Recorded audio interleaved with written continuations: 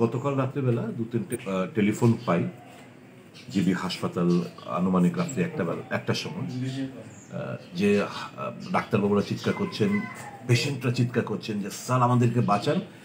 Oxygen supply পুরোপুরি বন্ধ হয়ে পড়েছে।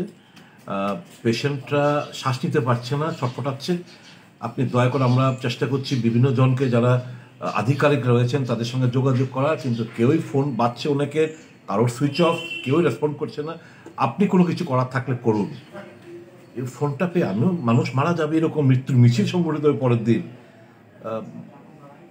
আমি দেনেন দেন আমি ঈশ্বরের নাম নিয়ে ফোন করলাম রাতুল দে, যিনি আমাদের রাজ্যে মাত্র একজনই রয়েছেন।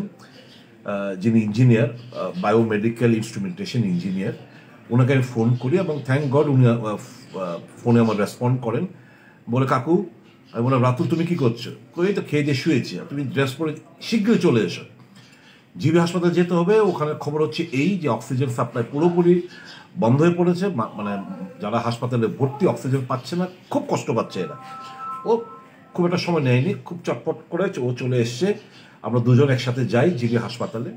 তারপর গিয়ে দেখি যে মিটারগুলোতে জিরো জিরো জিরো এরকম রিডিং আসছে। তারপর ও আমি তো টেকনিক্যাল পোর্শনটা বুঝি না।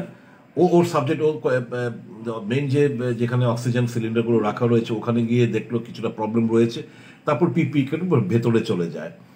ভেতরে চলে যাওয়ার পর থ্যাংক গড সে আধ ঘণ্টার মধ্যে সে তার যার যার তার মেকানিক্যাল পদ্ধতি, যা, কিংবা যা পদ্ধতি অ্যাপ্লাই করে, এই জিনিসগুলো, যে অক্সিজেন যেটা টেকনিক্যাল প্রবলেম ছিল, সেটা সুরাহা করতে পেরেছেন এবং অক্সিজেন সাপ্লাই আবার পুনরায় এস্টাবলিশ করতে পেরেছেন। তো আমি আনুমানিক দুটো আরেকটু অব্দি ছিলাম, তারপর ও আরও কিছু কিছুটা সময় ছিল, কারণ ও আবার না নষ্ট হয়ে পড়ে, একটু ওয়েট করে মানে দেখতে চাইছিল।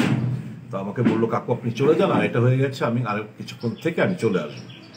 আমি ধন্যবাদ জানাব রাতুল দেখে যে কাল রাত্রে ওনার প্রচেষ্টায় এই অক্সিজেন সাপ্লাই যে সাপ্লাইটা উনি আবার পুনরায় এস্টাবলিশ করতে পেরেছেন।